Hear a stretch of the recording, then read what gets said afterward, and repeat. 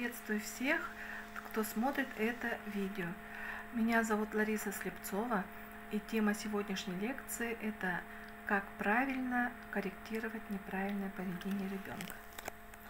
Тема звучит э, странно на первый взгляд, поскольку, наверное, согласитесь, что в жизни не бывает неправильного или правильного поведения. Это оценочное отношение. Если мы с этой позиции будем смотреть, то будем субъективны в своем э, восприятии того или иного, да, это будет наше правильное поведение. А у каждого человека э, своя правда, своя норма. И в этом плане, если будем исходить из этого представления, конечно, э, мы будем ошибаться. Поэтому здесь речь пойдет о том, как а, проявлять свою любовь, а, как проявлять, донести свою любовь в сложных ситуациях э, у ребенка, когда ребенку больно, когда ребенок испытывает неудачу, когда ребенок ошибается.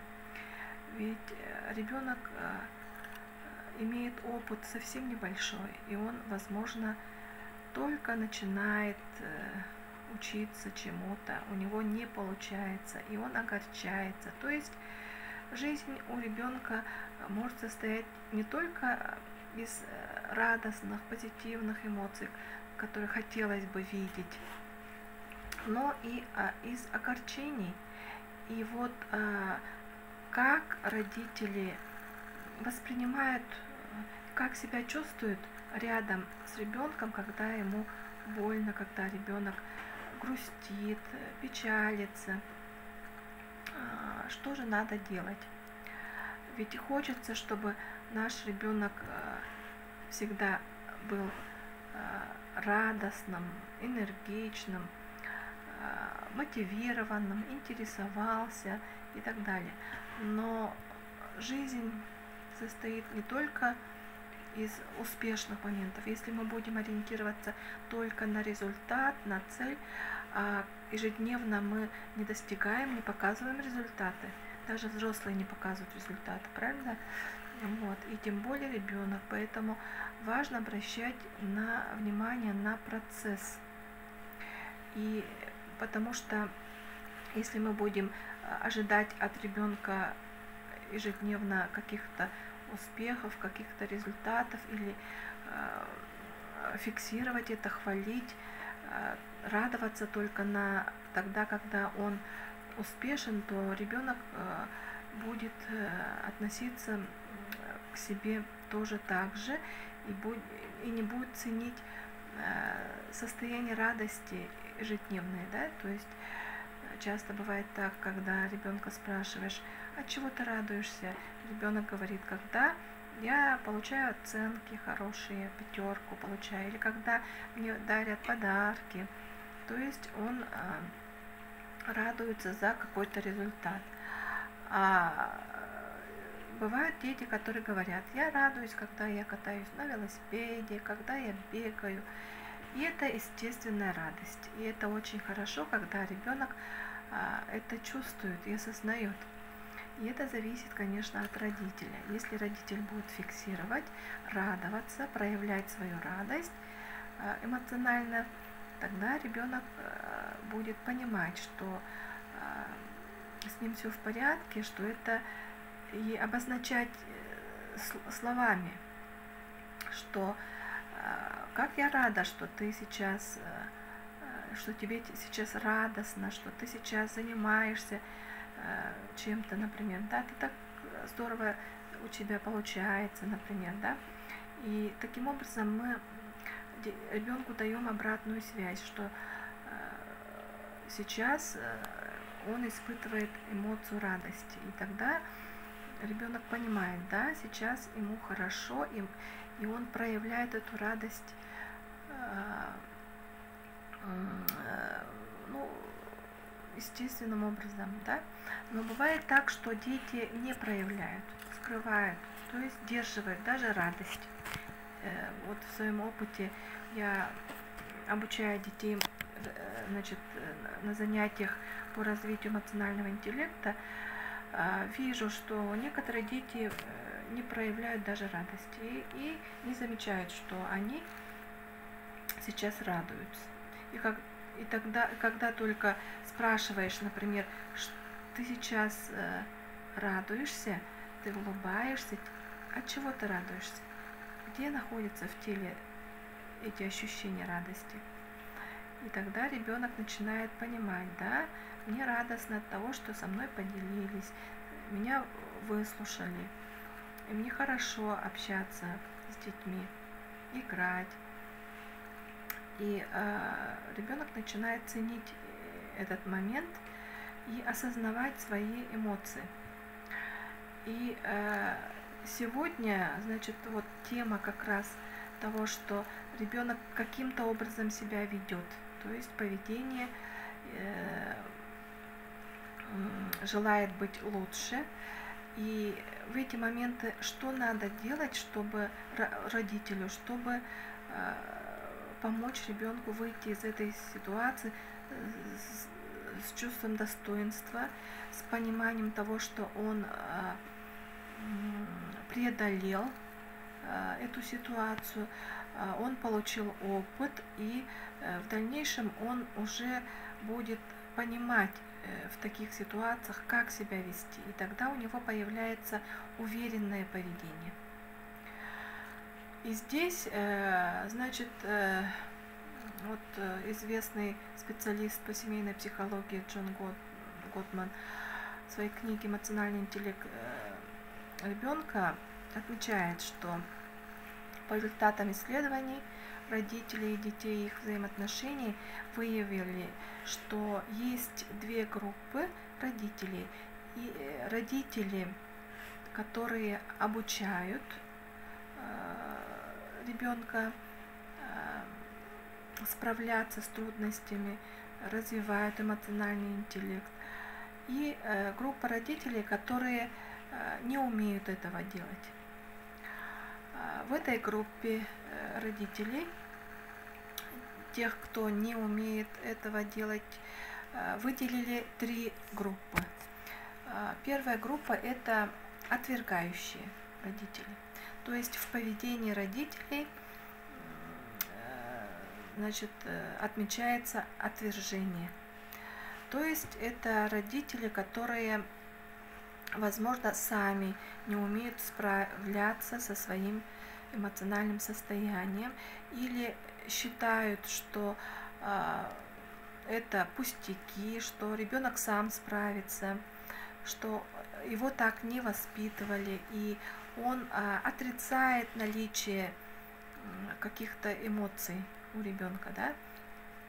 То есть, например, э, бывает так, что, например, ребенок, мальчик плачет, ему говорят, не плачь, ты же мальчик, а, а это уже отвержение получается, отрицание получается, да, непринятие.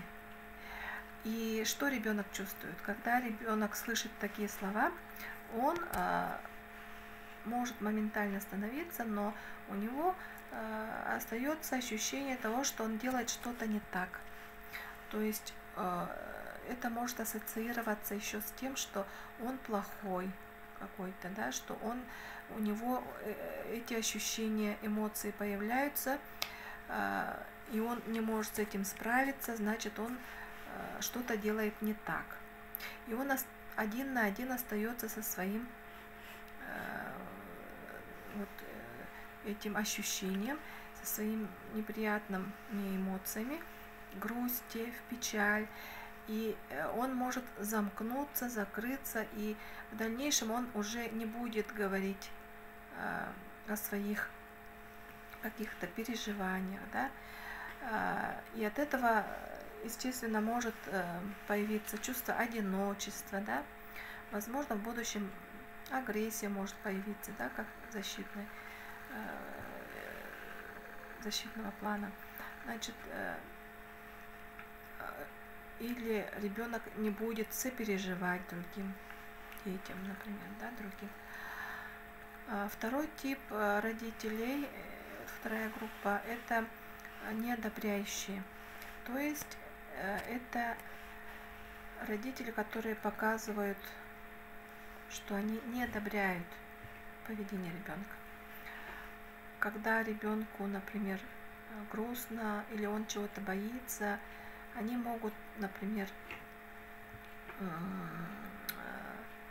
показать, что они не одобряют. Это, возможно, они показывают без слов, просто, значит, э, отрицая такое поведение, да, а, или когда ребенок злится, например, да, показывает свое э, неодобрение, например, чего-то или нежелание чего-то сделать, да, и тогда родители, когда наказывают, э, вплоть даже бывает физически даже, да, то есть это родители, которые сами не справляются, они не в ресурсном состоянии. А, я думаю, что каждый родитель любит своего ребенка, каждый родитель. А, и а, он хочет добра, хочет э, изменить, э, поменять поведение ребенка в лучшую сторону именно с благих намерений, да, с благими намерениями он каким-то образом поступает, но при этом ему мешает его состояние. То есть здесь нужно обратить внимание, когда а, ребенок а, себя каким-то образом ведет, то что происходит у вас, у родителей, да? То есть что вы чувствуете на данный момент? А, эмоция раздражения, может быть, да, злости приходит. А, на что именно? От чего это злость или раздражение? А, возможно, э, приходит э, причиной этой эмоции, неприятных этих эмоций, может быть ощущение себя плохим родителем – или э, ощущение того, что я что-то делаю не так, или э, в-третьих, это может быть то, что мой ребенок какой-то не такой, или ведет себя не так, как другие дети. Значит, э, идет оценка своего ребенка, его поведения, и это оценочное да, состояние. Когда взрослый ну, родитель оценивает, то естественно, это э, приводит э, ну, к такому э, поведению, когда появляются такие неприятные эмоции, да, когда человек оценивает, что он не справляется с ситуацией, не справляется с поведением ребенка, у него опускаются руки, это означает, что ресурсы закончились, то есть он не в ресурсном состоянии. Э, таким образом, для того, чтобы быть рядом с ребенком, необходимо думать о себе. То есть научиться, во-первых, быть в ресурсном состоянии. Э, вопрос такой, сколько времени вы отводите для себя, для того, чтобы быть в ресурсном состоянии, для того, чтобы э, рад, проявлять радость, проявлять свою любовь, тепло, заботу. Или это происходит через силу, что я должна это сделать. Когда мама э, занята э, многими делами, у нее в голове очень много забот, и у нее не остается времени на то, чтобы отдохнуть, уделить время только себе, э, тому, что вдохновляет, воодушевляет, радует. Именно э, позаниматься, расслабиться, успокоиться, поспать даже, да, нужно для того, чтобы восстановить силы. Потому что наша энергия, она, э, значит, как правило, уменьшается. То есть, когда мы отдаем, то, естественно, есть желание э, взять. То это закон сохранения энергии. Работает везде, да, то есть энергия, если мы отдаем, то она должна откуда-то, мы должны получить эту энергию. Поэтому мы восстанавливаем свои силы для того, чтобы отдавать своим детям. Поэтому, тем более, если э, у мамы много детей, значит, э, три и более детей, э, каждому ребенку нужно уделить внимание, чтобы каждый ребенок почувствовал себя единственно любимым. Он ведь не виноват в том, что появились братья, сестры, да. А, но, несмотря на это, ребенок любит своих братьев и сестер, и эта любовь, она должна идти от сердца, да, не потому что вот ты должен смотреть за своим братом или сестрой, да, а создавать такие условия, когда ребенок сам этого хочет, радуется общению с братом, сестрой, он получает удовольствие от того, что э, играет, занимается этим, да, то есть э, ребенок э, с детства учится заботиться о ком-то. И это очень важное качество, когда старший ребенок заботится о младшем. И когда он вырастет, он будет заботиться легко о своих детях, у него уже есть опыт заботы, он проявляет любовь. Да? А, и а, каждый родитель любит своего ребенка, хочет, чтобы его ребенок был а, счастливый, радостный, позитивный, успешный. И здесь важно, и каждый ребенок любит своих родителей э, и хочет, чтобы э, в семье была радость, чтобы общение было, строилось на э, значит, понимании, чтобы его понимали, чтобы его принимали таким, какой он есть, да каждый ребенок, э, э, возможно, неосознанно задается вопросом, а любит, любите ли вы меня? То есть своим поведением он может говорить о том, насколько вы меня любите, принимаете ли вы меня таким, с таким поведением.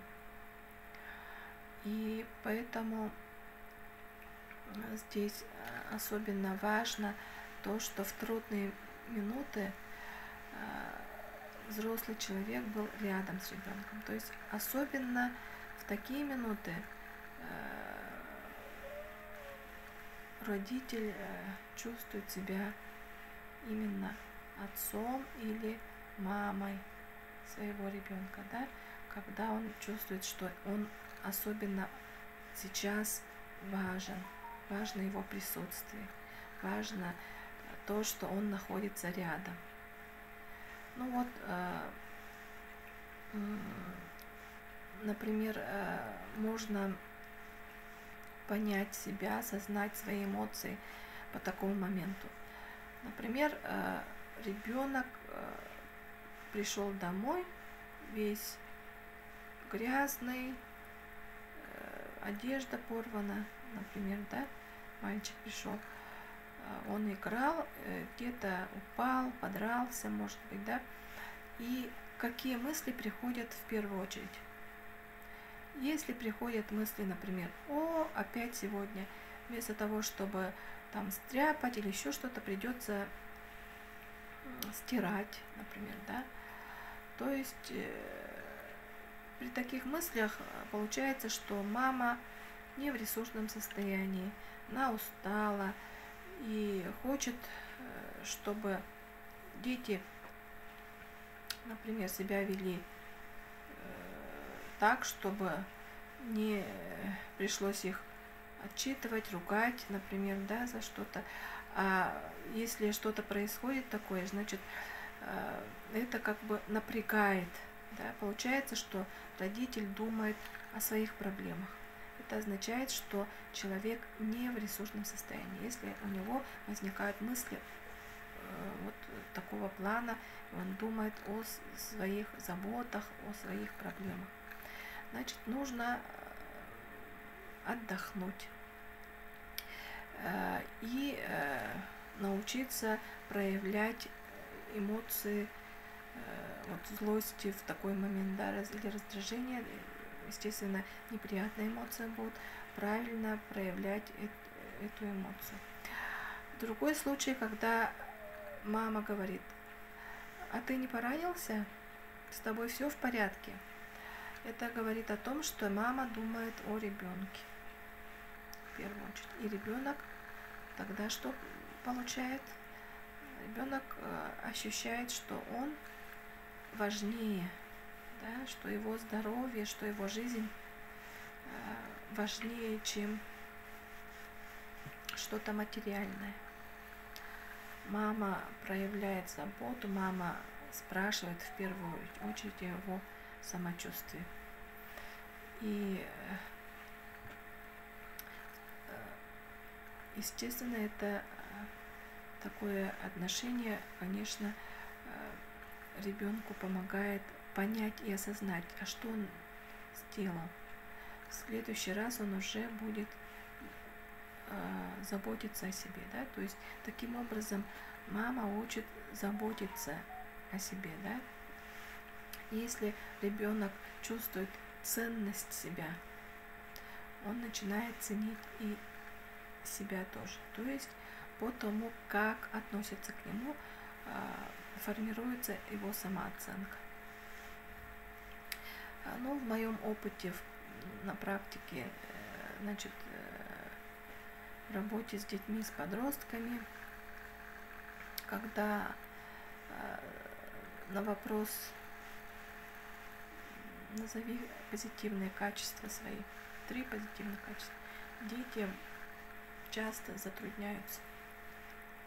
Но очень быстро э, говорят о каких-то негативных э, качествах, например, да, э, что что-то у них не получается и так далее. О чем это говорит?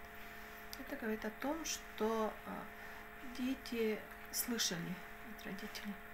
То есть не, не часто слышали о себе позитивное. Да? А, и даже если спрашиваешь родителей, например, назовите быстро три качества свои позитивные. Во многих аудиториях родители затрудняются. Э, единицы могут сказать о себе, например, позитивно.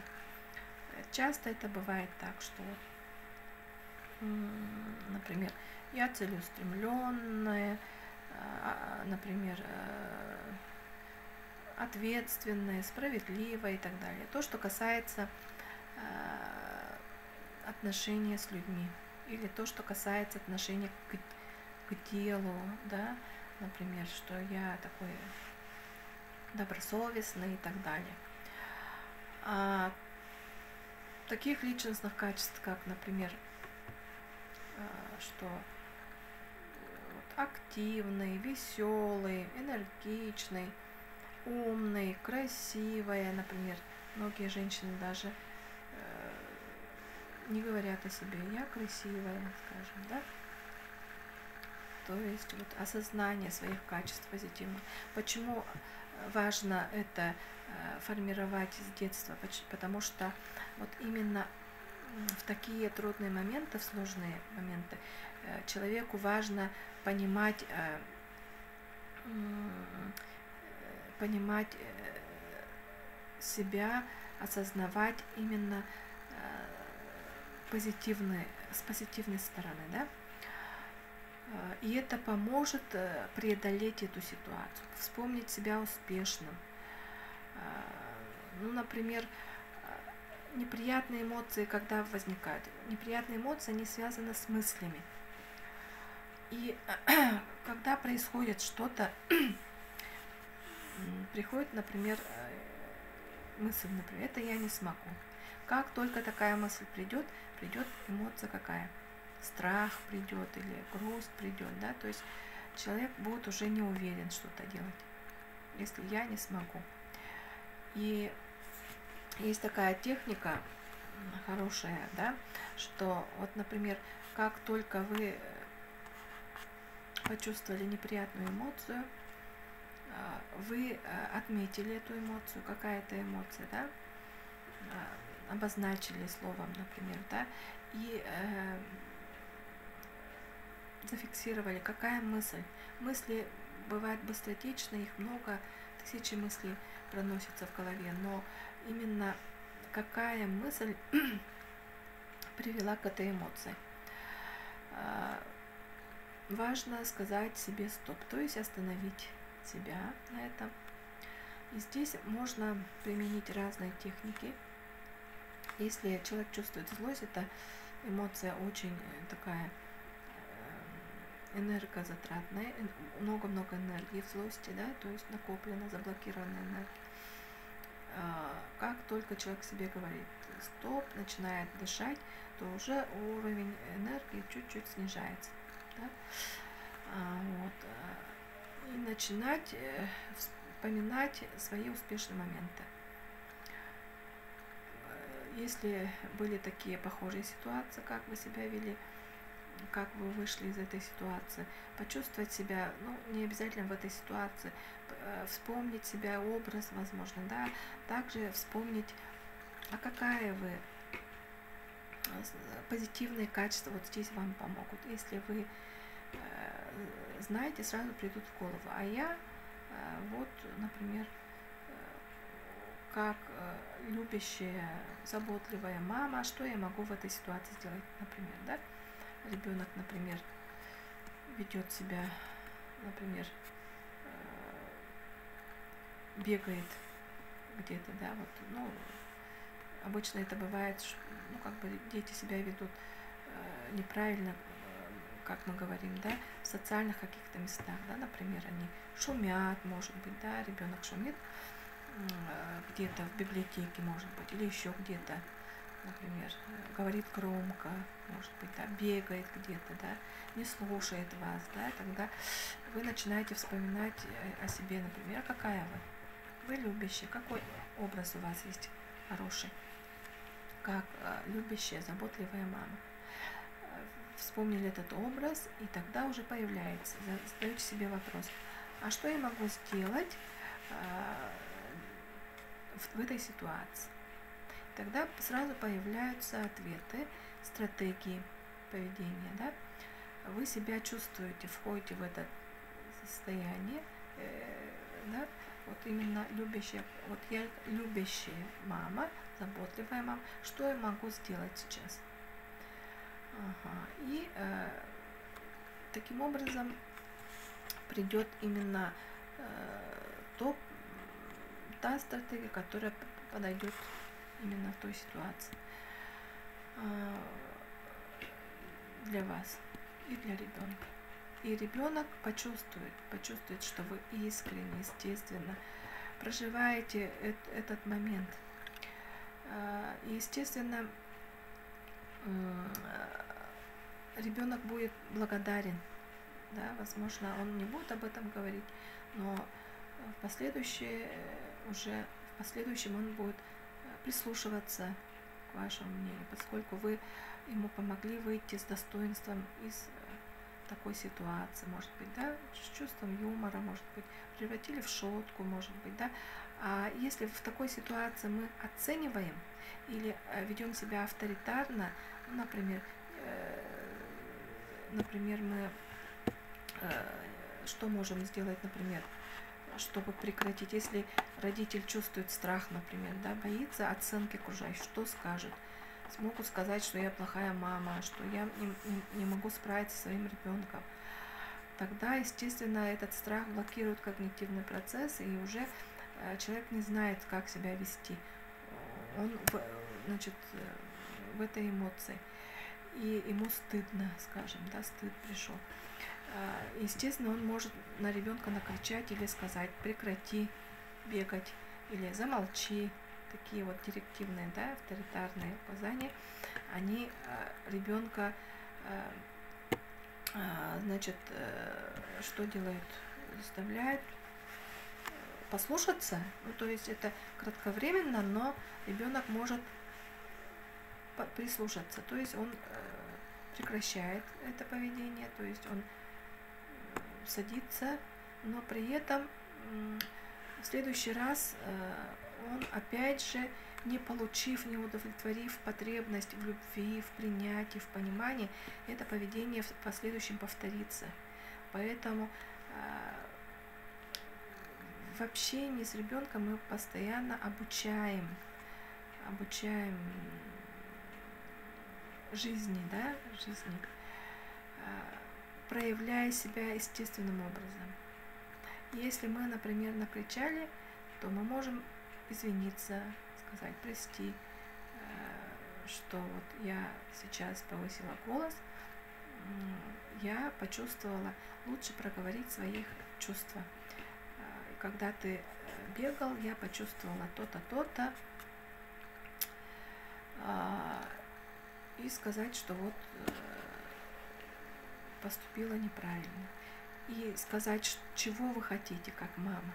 Я хочу, я тебя люблю. То есть нужно а, здесь отделить э, ребенка от его поведения. Оценивать можно только поведение, но не ребенка. Чтобы э, вот когда э, слова, которые вот высказанные в эмоциях, они могут прозвучать так, что ребенок может почувствовать себя плохим, что он какой-то не такой, что он плохой, и это ощущение остается с ним надолго, даже вплоть до взрослого состояния. Блокируется, то есть он в этот момент сжимается, напрягается, страх его сковывает, и в теле внутри могут появиться зажимы в мышцах, да, мышечные зажимы. И э, внутри может появиться обида, горечь от того, что его не понимают, да, вот его заблокировали. Он хотел бегать, у него была энергия, у него он, э, возможно, не понимал, где он находится, да, то есть поэтому важно до выхода в социум учить ребенка профилактически, да, обучать его таким социальным навыкам, правилам, что вот если мы сейчас мы, мы сегодня пойдем туда-то в гости, или мы поедем на автобусе, или мы поедем, будем в тех местах, где много народу, или мы пойдем сегодня там в музей, э, где в музее не принято говорить громко, значит, там люди приходят созерцать картины, и будут интересны и так далее. То есть важно все время обучать ребенка. А, и ребенок а, тогда, а, понимая, он будет, естественно, в такой ситуации будет готов. То есть, потому что все делается дважды. В первый раз в голове, а второй раз это проявляется, да, мы проявляем. Чем тщательнее мы проектируем, тем лучше результат. Поэтому если мы продумываем, если ребенок, а ребенок, он вот живет э, ежедневно э, не э, ожидая каких-то ситуаций, да, то есть он не планирует, не прогнозирует, возможно, да, что будет, потому что у него опыта нет. А мы взрослые, у нас есть опыт, и мы, когда куда-то идем, то мы проектируем и вплоть до того, что будем говорить, как будем отвечать, какая, в какой одежде пойдем. То есть мы заранее обеспечиваем, создаем условия успешности. И поэтому такие условия успешности важно создавать и для ребенка. Обучать этому. Обучать вместе, проговаривая, беседуя, общаясь с ним, рассказывая.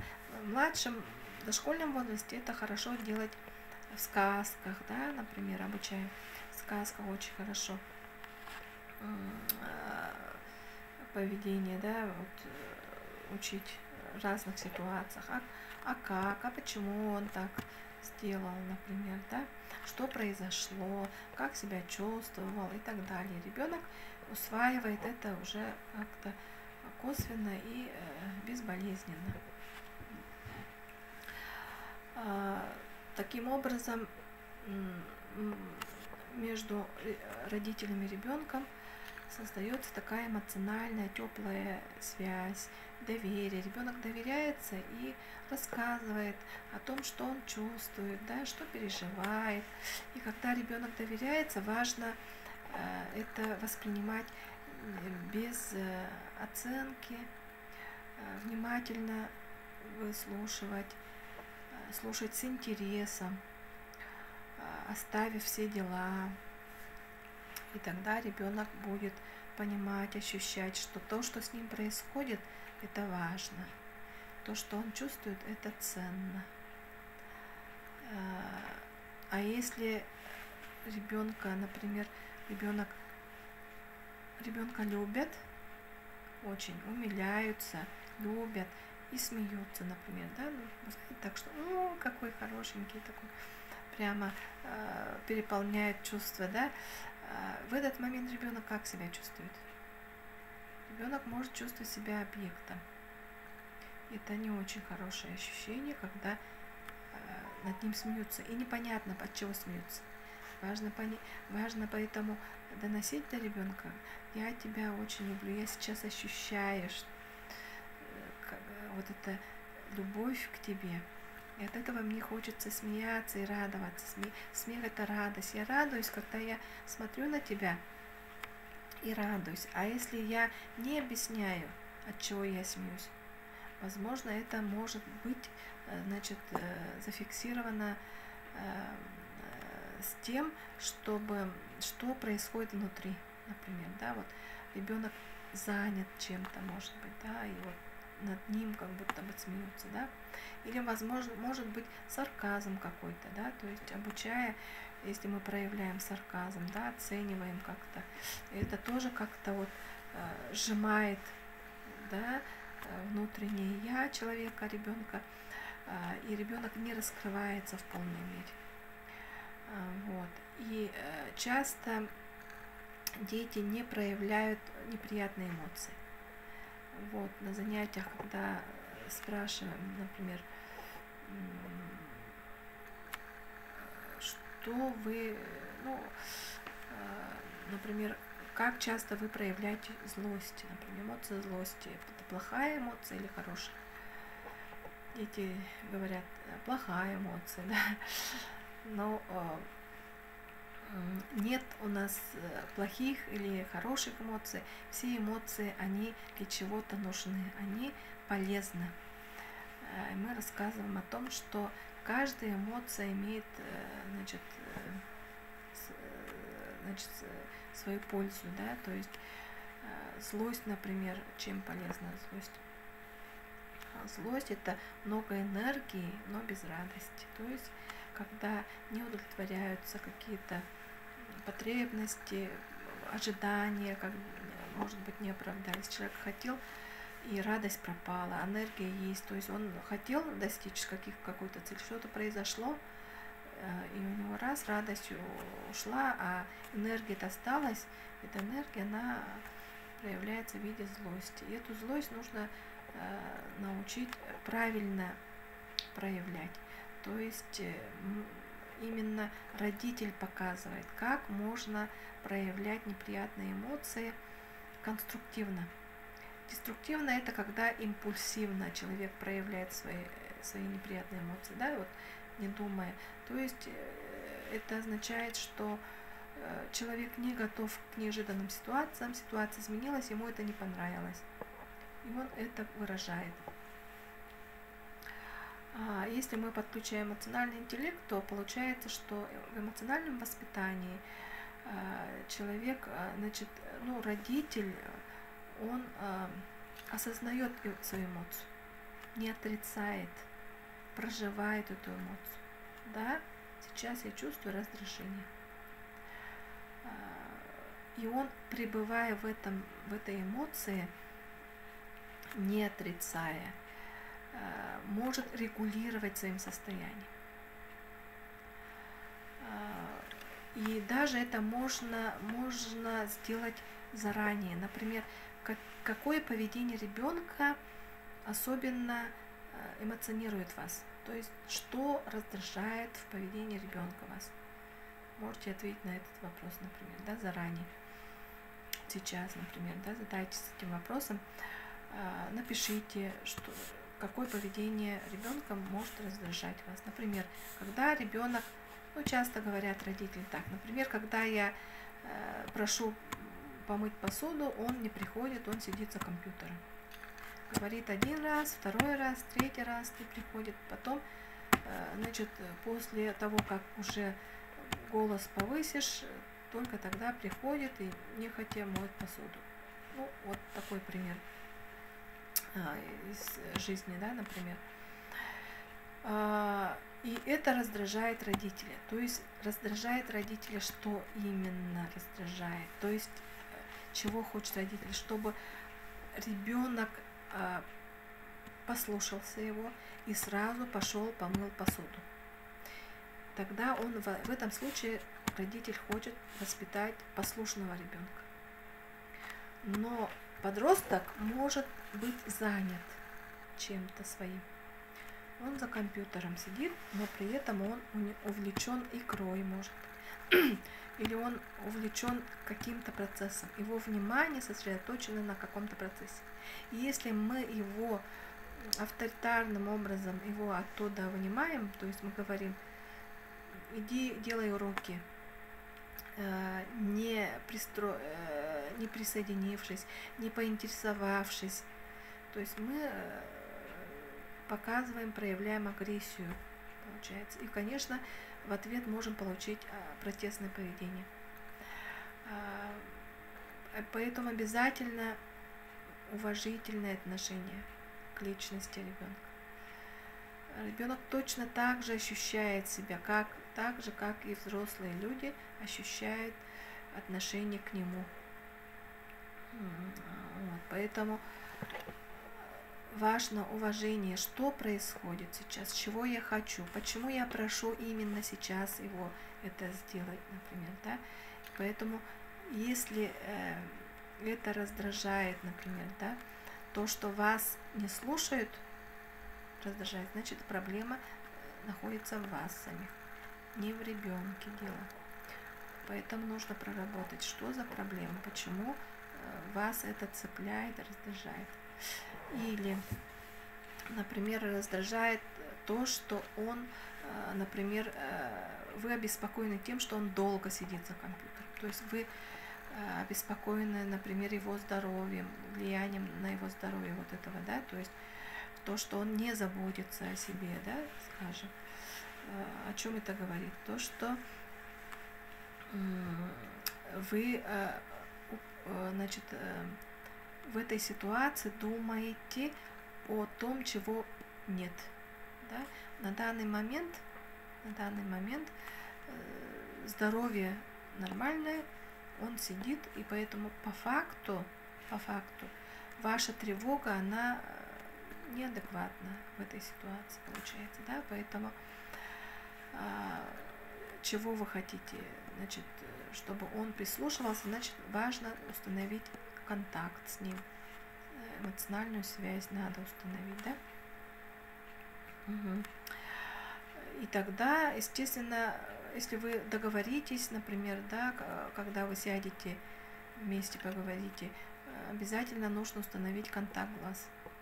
Если вы говорите в затылок, то, естественно, ребенок не будет слышать и понимать вас. Поэтому важно с ребенком устанавливать такой вот зрительный контакт. Это очень важно во всех случаях. Не только с ребенком, вообще со всеми. Если вы хотите добиться цели, важно, чтобы смотреть в глаза человеку и говорить о том, что вы чувствуете, когда он что-то делает, чего вы хотите и почему вы этого хотите аргументировать да, и тогда вы можете договориться о том, что нужно делать в следующий раз, чтобы этого не повторилось так, такой эмоциональной ситуации между вами, да, что вам не нравится, вам хочется чего.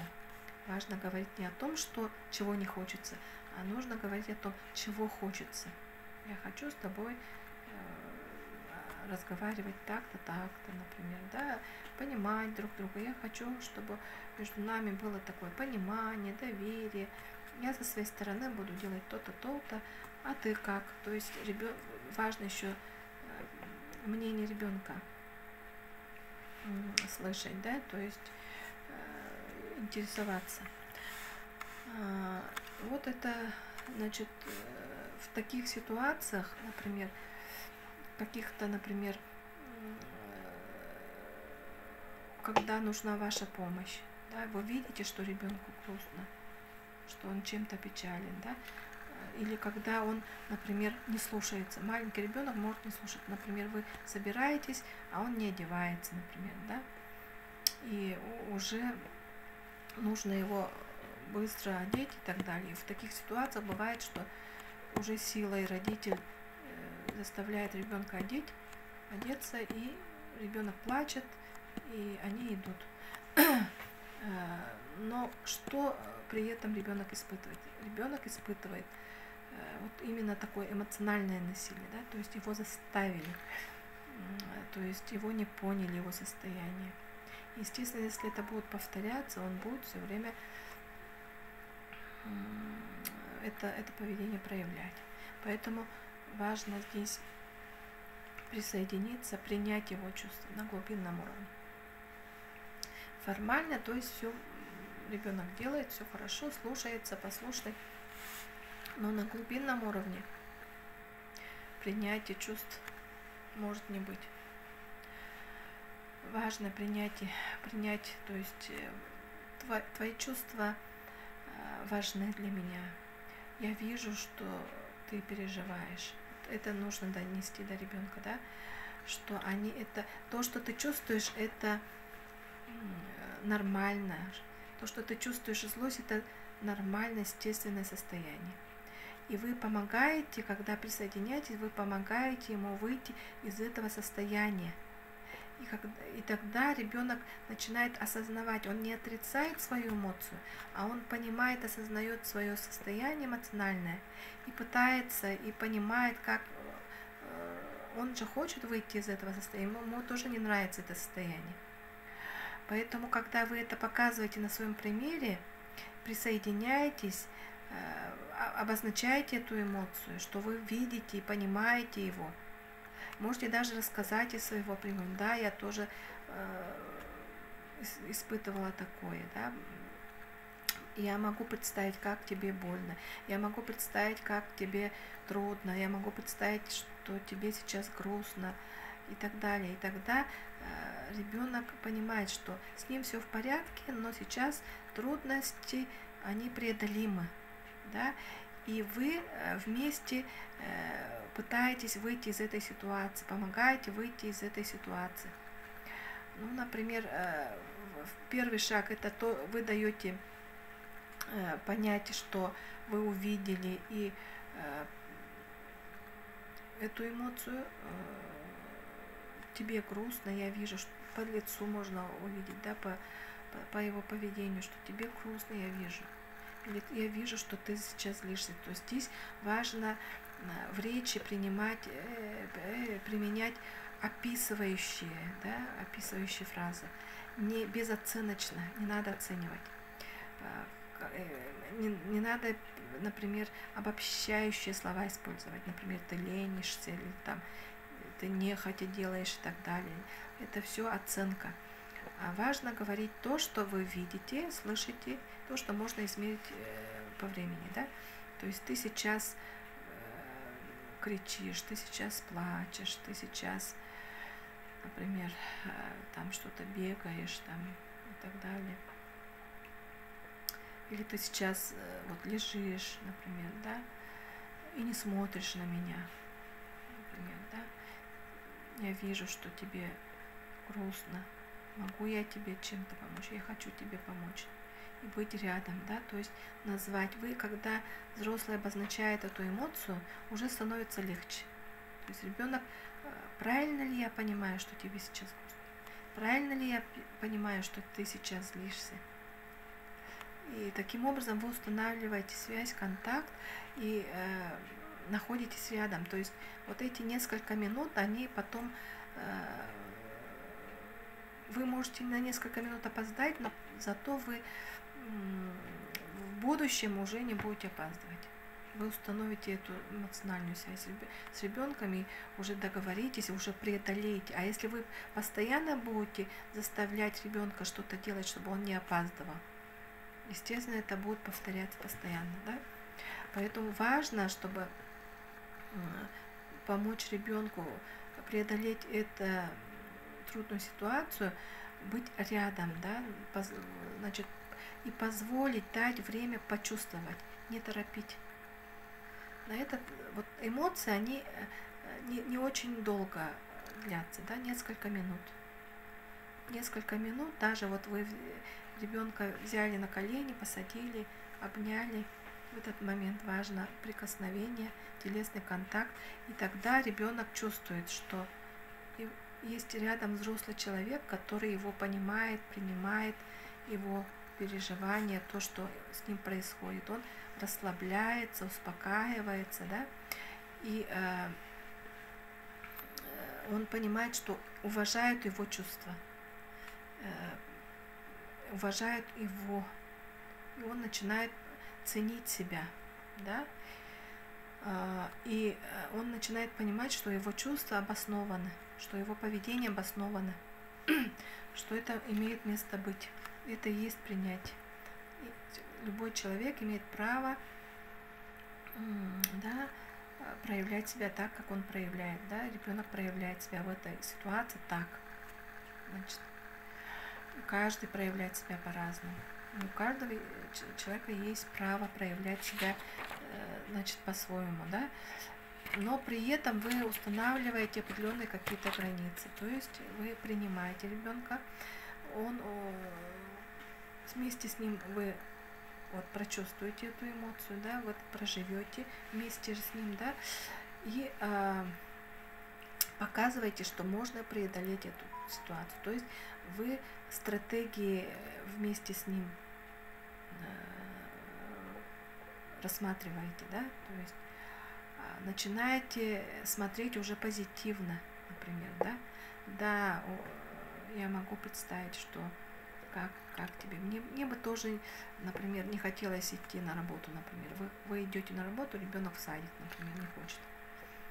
А, было бы хорошо, если бы мы остались, мне бы, но а, я работаю, и мне надо идти на работу, а тебе надо в садик. А да, давай представим, а, когда мы не бу э, вот выходной день, когда мы не будем, э, ну, когда нам не надо будет идти на, на работу, а тебе в детский сад, что бы мы могли бы сделать? И у ребенка вы уже, э, значит, э, трансформируете, да, то есть как бы э, ребенок начинает уже э, отвлекаться и начинает думать выходит из, этой, из этого состояния. Он уже прочувствовал, пережил, прожил, почувствовал, что его принимают, понимают, у него появляется э, позитивное состояние. Да, энергия появляется, у него появляется желание уже что-то делать. И можно это использовать. То есть вы посидели там 2-3 минуты обнявшись, уже ребенок подзарядился энергией, и он уже хочет двигаться, действовать. Вот. Таким образом. А, тема такая большая. А, ну, у нас по времени мы завершаем нашу лекцию. А, если будут у вас вопросы, задавайте, обращайтесь к нам в психологический центр Надежды Васильевой. Желаю удачи, любите, проявляйте любовь, радуйтесь и наслаждайтесь общением со своими детьми.